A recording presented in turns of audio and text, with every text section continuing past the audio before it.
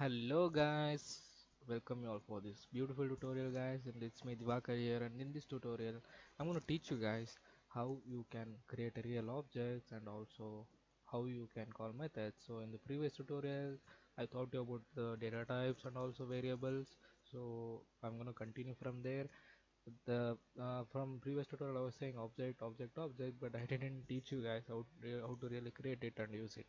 So in this tutorial I'm going to do that just have to create an object for that. So I have already said what is an object. So first you need to mention your class name. My class name is main and we're going to take an example of a baby. So I'm to say why that is. Okay? So just take an example of a baby. And you're going to say new and main so why new keyword used here so because this new keyword allocates some memory for baby. So because object needs some memory. So that memory is given by this new. So this main is nothing but a constructor. So constructor it's nothing but for uh, used for uh, initializing.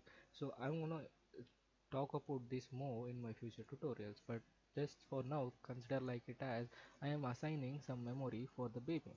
So once after I assign my memory I need my method I have not written my method. So let's say so it may be a public or something void and eat more. So this is my method. So inside this method I want to say that caps lock is on system dot out dot print.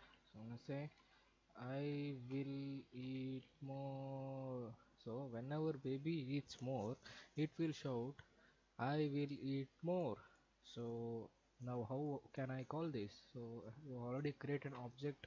So you just have to say baby dot eat more. So when I do this so the first method that is going to execute when your program run is this method main method right?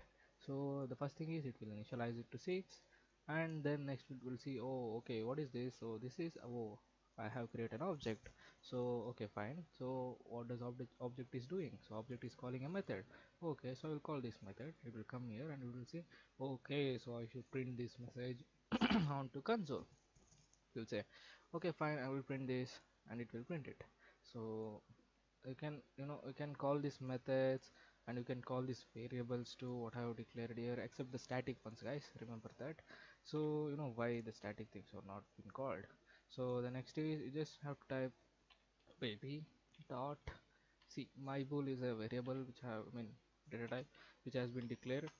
So it is declared as true. So I can make it here as false as you can see here guys.